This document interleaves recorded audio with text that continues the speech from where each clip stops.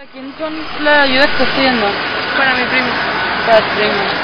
Pues él tiene dos semanas que está hospitalizado. Él le pincharon su pulmón derecho y él tiene coágulos de sangre. El más grande es el tamaño de un limón.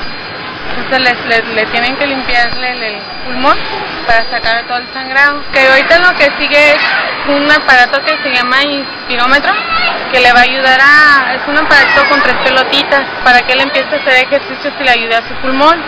Y también pues ocupa otros estudios, otros rayos X que esos en el seguro popular no, no lo tienen, en el hospital general nos mandan por fuera. Cuando me lo den de alta yo voy a estar lle- llevándolo cada cierto tiempo a hacerle la- los estudios para saber que quedó al 100% su pulmón.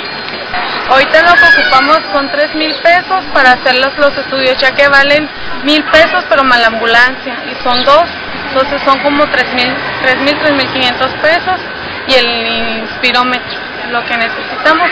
Ya lo de la cirugía y todo eso, pues el Seguro Popular se, encargó de, pagar al, al hospital que eran 15 mil pesos. Hicieron una radiografía y luego, luego me dijeron que se iba a quedar internado y los tienen entubado. Lo tienen entubado acá, lo que es el pulmón, este, se llama drenaje, drena el pulmón, saca la sangre sucia y le están poniendo limpia. Y le, también lo tienen con oxígeno y por lo que son las transfusiones de sangre. Tiene ¿Tu primo? 30 32 años.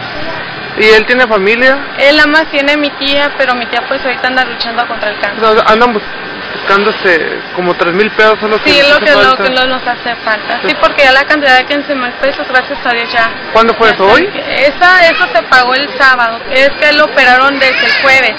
Sí. Pero ya el sábado ya se, se borró esa cuenta y ahorita lo único que nos queda, ya que nos lo manden a casa, tenemos que seguir con, con su tratamiento. Y ahorita lo que ocupamos eh, son los 3 mil pesos para la para las radiografías, los estudios, porque es un estudio ya más allá del pulmón. Es difícil, 3,000 ¿no? pesos sí es bien difícil porque si yo pudiera, yo les ayudara, pero pues desgraciadamente yo estoy pasando por una situación muy delicada. De hecho, estoy con el señor Fernando Ceguera.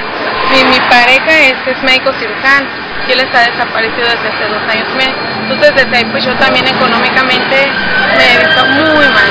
Entonces, ni cómo a, ayudarlos ahí, ya que yo tengo una niña y pues.